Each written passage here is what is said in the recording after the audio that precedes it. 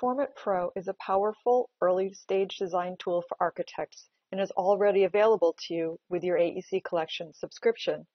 With the simple designation of a location by either entering an address or browsing to a city location, you gain access to satellite imagery, weather station data, solar analysis, and more.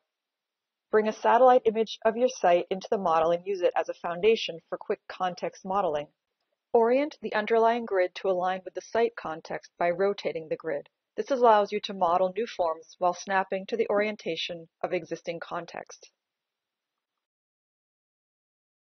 FormIt Pro's 3D sketching tools create solid geometry, which can be edited by pushing and pulling forms for both additive and subtractive design. You will quickly learn to sketch in 3D with the intuitive features and simple interface. In this example, I modeled basic site context, which will help me better understand the impact my design may have on existing buildings. Once I have some programming blocks laid out, I can assign levels to each block for live feedback on square footage and floor area ratios. I can study the effects of shade and shadow on the site by sliding the Sun editor in the modeling canvas for real-time assessment of shadows.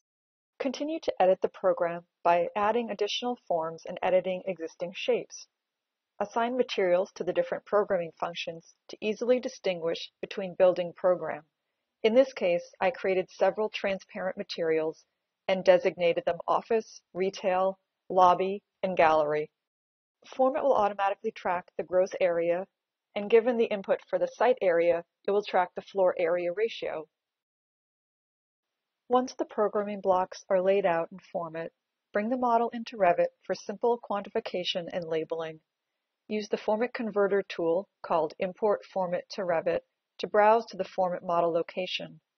Each FormIt group will become a new Revit family. The geometry, levels, and materials from FormIt will transfer to Revit.